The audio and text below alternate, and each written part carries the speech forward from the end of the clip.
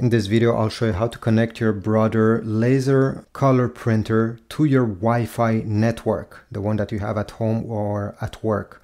So how is it done? You need to go on this control panel, make sure the printer is turned on. Going to press once on this red cancel button just to make sure we start at the same place, okay? And now with the up or down arrow, we're gonna scroll in this menu, okay? Press it a few times until you see network appearing on the display.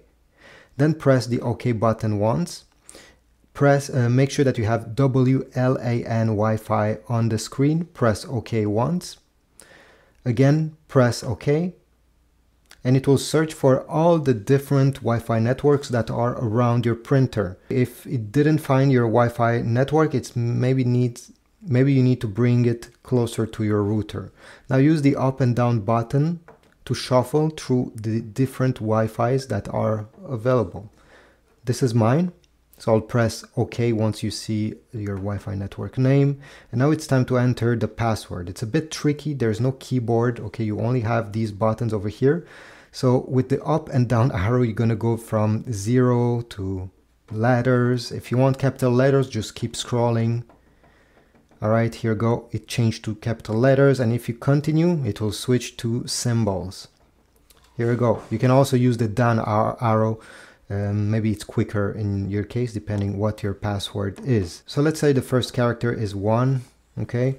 Press OK. It will go to the next one and like this you can type your password. I'll go ahead and do mine. Once you have finished entering your password, you're going to press one more time on OK to confirm.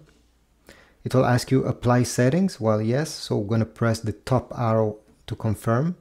And now you're going to see connecting.